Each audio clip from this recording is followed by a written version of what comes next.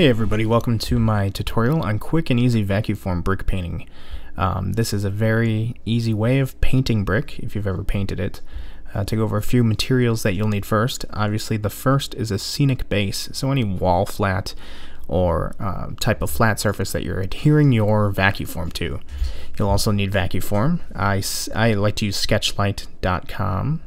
Um, paint colors as far as three brick colors, a black, a white, a raw umber, hunter green, You'll need a small roller and a pan, a garden sprayer, and some cheesecloth. To start out, what I do, um, this is provided you have your scene built and your vacuum form is adhered. I just staple it. Um, Sketch-lite has some great different vacuum form products. Uh, this is just going to be the basic brick B pattern on their website. Um, here I'm just taking the garden sprayer. You can see I have the two green, or the two uh, watered down paint colors. The first is the hunter green that's watered down. A tip that I use for when using watered down colors is if you dip your finger in the paint, when you pull it out you want to still see some skin tone through the paint on your finger. I don't do that here, I just managed to spill a lot. um, but you'll see that when I get into the raw umber. So hopefully you're better at pouring that than I. Um, my wrist is a little unstable as you can see.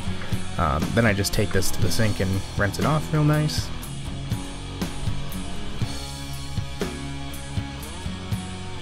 And cap this up. This is just a home uh, garden sprayer that I got from Home Depot, I think, for four bucks.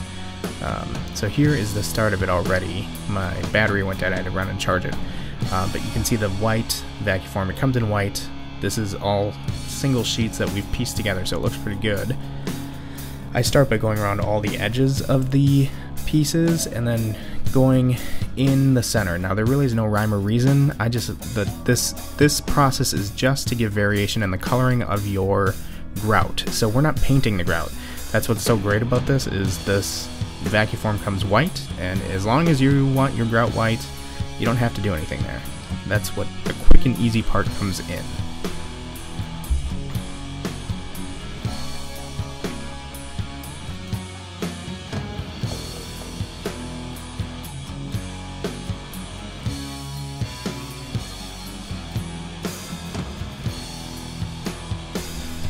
Now, it really is going to depend upon what or how much um, texture and variation you want in your grout.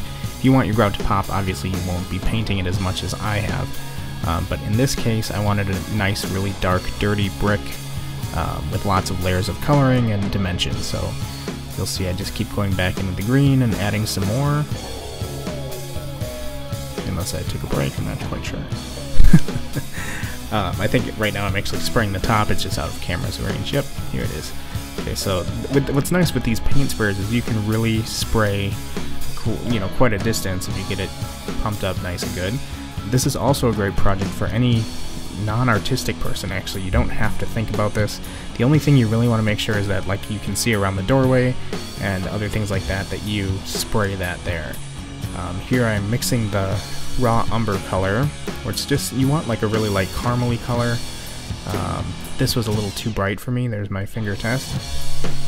Um, and a little bit too runny, so I went ahead, I had a stash of uh, some brown watered down, looks white here until I stir it up. But once you get that mixed up nice, I just mixed it in with that color. You you want two tone, so right you could do one, but it's just gonna look better for that grout line if you have just sort of uh, a darker green, and then I like a lighter sort of brown, orangey, rusty sort of raw umbery color.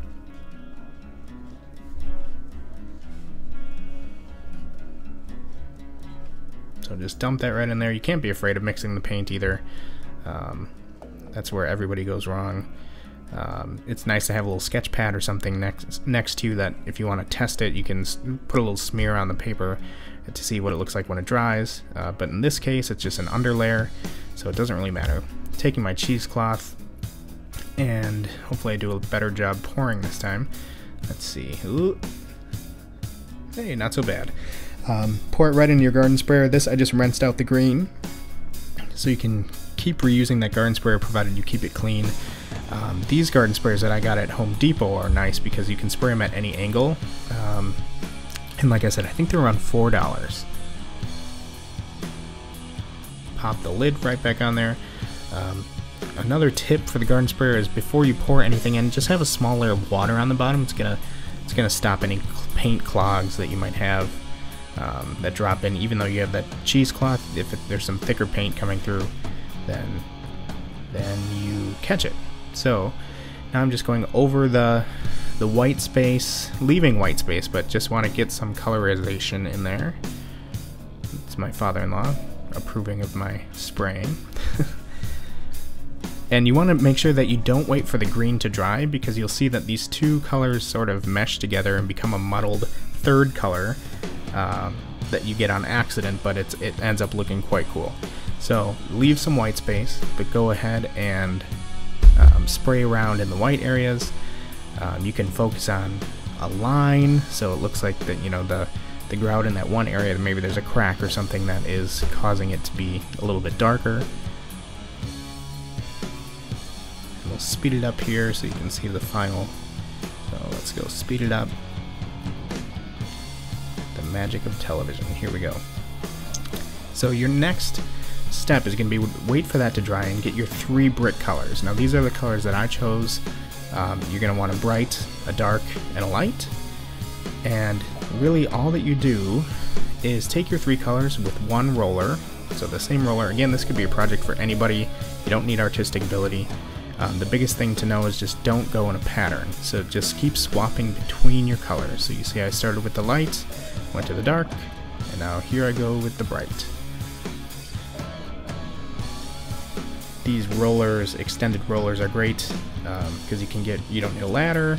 Um, also, don't use a normal a normal roller. You want something that's a little bit smaller. The bigger rollers I find don't get into the grout enough, and it looks too flat on the surface. Where these smaller, um, thinner rollers can actually get a little bit into the grout lines, so it gives it some 3D dimension, so you don't have to go in and paint.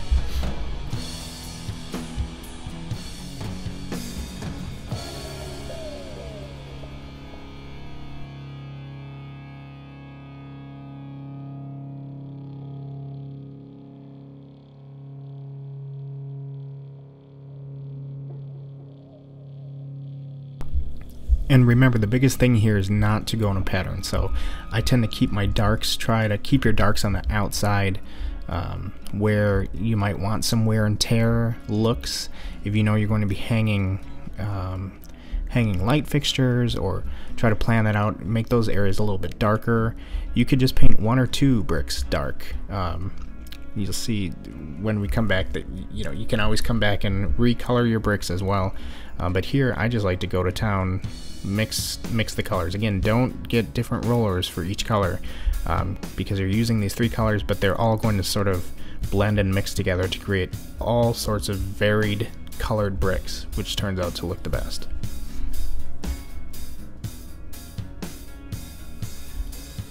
So hurry up, look how fast I'm painting. Um, hurry up and finish this wall here, and then we'll go on to the next step, which is going to be getting the same sort of watered down mixture with the finger test as you did with the with the green and the goldy umber color. Uh, but this is going to be a black so you can see how I do this. This this requires some artistic ability um, because you have to have an eye on where you're going to want the darkest part of your bricks. Here I tend to choose over the green again um, around any edges around windows where something might be um, if you're wondering why I'm going in a straight line, it's when it dries, it tends to look like that's maybe again where there's a crack in the brick, um, and you know something is seeping out of it.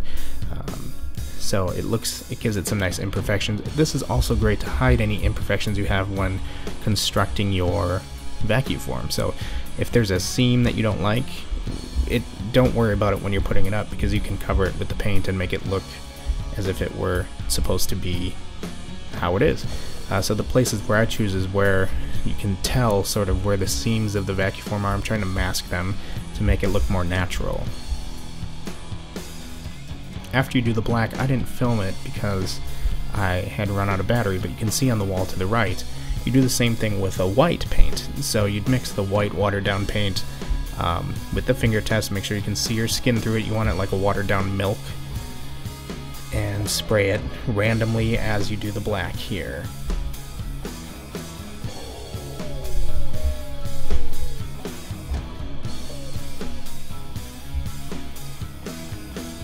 And this is going to be a personal preference thing. If you want it darker, more grungier, you're going to add more. Um, I'm just trying to match the other walls here.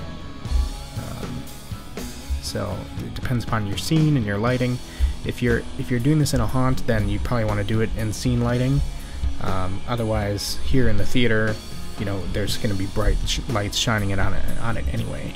So here's the finished product. This is what it's going to look like with the white in there as well nice angled view. This is next week's episode. Um, is going to be how to make these uh, factory windows. So make sure you rate, comment, and subscribe, or check out my website erickjamesdesign.com or on Facebook, facebook.com erickjamesdesign.